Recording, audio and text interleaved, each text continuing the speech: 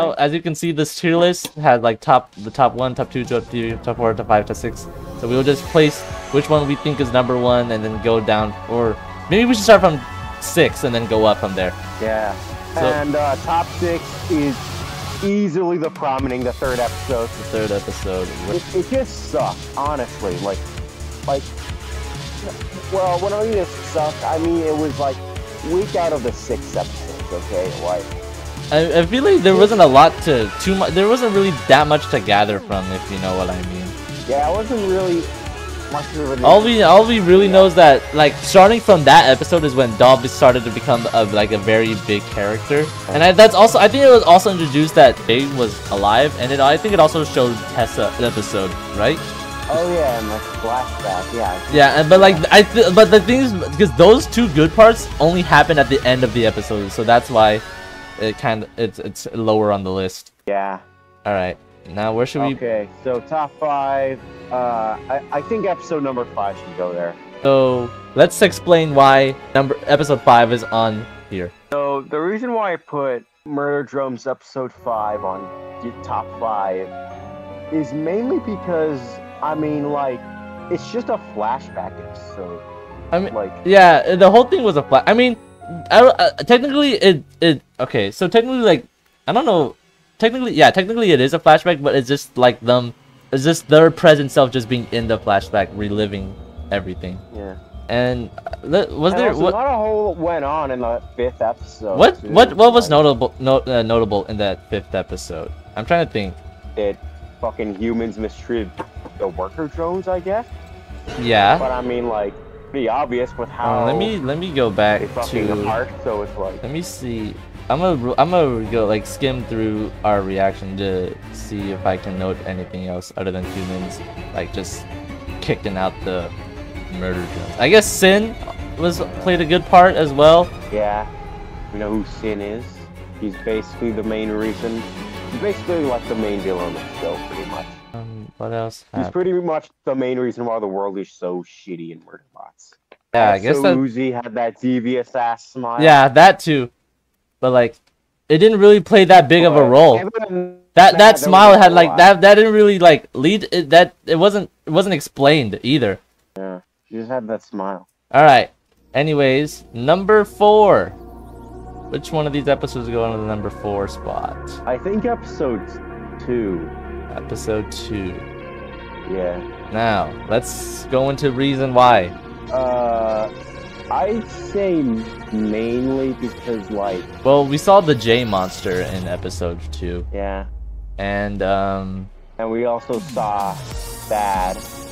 yeah. I guess it's pretty cool. Anything else notable notable in episode two, other than the big J monster? I guess Uh, the I Worker guess Jones the accepted N, for, with his little drawing of his. Oh yeah, oh yeah. And That yeah, was a I, really I actually, funny I episode. wait. It was a really funny Episode two, there's also something wrong last time because in episode two is where they showed uh doll. So like before, right before episode three. Oh yeah. where we saw doll, which would then later play a bigger role in the la- in the later episodes. Oh yeah. Okay. Anyways, number three. The- okay, these last ones are pretty good. Yeah. The last three are pretty yeah, good. it's- yeah, it's gonna be really fucking difficult to choose. Should we put the pilot which on number three? Three. Should we put the pilot on number three? I mean, I was thinking that we should have put the sixth episode in number three, Uh, because I feel like in like the first episode, like it was a really good fucking pilot, honestly. Like, Yeah, and I feel like the sixth episode, like I, I don't know why, it felt the ending felt like really quick, despite being a twenty minute a twenty minute plus video. yeah, it just felt out of nowhere, and the fact. Oh yeah, they like they just introduce characters that that just come out of nowhere. Beau, Alice, Yeah. the Sentinels, even they just come out of nowhere. J is like gone the, the first three minutes. Yeah. I know we we just talked a lot of crap. I didn't like how they fucking sacrificed V for like no fucking. oh yeah, I like how we're talking crap. I like how Lukas. I like how we're talking crap for the number three. I like how we're talking crap for the number three spot. Let's say something good. Other than that, it's a really good fucking episode. I think, yeah, I, I feel like a lot of people. I bet like every person who's reacted to like episode six, like they fe- they like the feels for V sacrificing herself for so her friends can survive. It does Yeah. give you. It does give. It does give you the It was feels. a good episode, but like I didn't like that. We're still keeping it. We're still. uh, Let's just. I think. Should we? Uh, Should, so like. Should we switch the so the places? wait. Wait, Lukas. spot- Wait, Lukas. Should we Yeah. switch the places for these two, or keep it as is then? Uh, yeah, keep it as is. Yeah. All right. So should pilot go on number two? All right. Yeah. All right. Pilot on number two. Uh. Now, I I don't think I really need to explain why uh, the first episode goes number two. They explain because they really they because like in the beginning they tell you this. They kind of tell you the story. Yeah, it's really nice, honestly. But I also like how they introduced Thad. Unfortunately, And I also Uh, saw like why like when uh Uzi was being like almost about to die to uh, and her, Ka- uh, Khan just leaves her. Yeah. All right. yeah, it's a really cool like pilot. For, it's a really good and solid first episode for the series. Yeah. That. Yeah. Yeah. I can agree with that. It's a pretty good episode. And so and now with process of elimination, Cabin Fever goes at number one. We really need to explain explain why episode four is on is number one. We see Uzi become evil. Pretty much, yeah.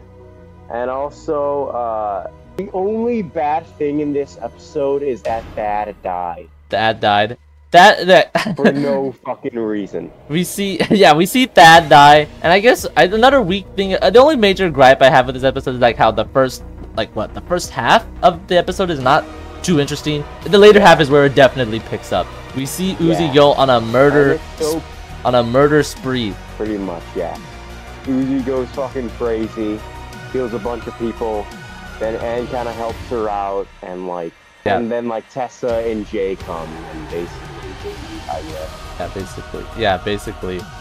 Actually, let me go back on on our episode four reaction to see the exact ending. Did Uzi and Tessa make an appearance in episode four? I can't remember. Yeah, I'm pretty sure. Yeah, yeah. Tessa like shows up at the end. Right.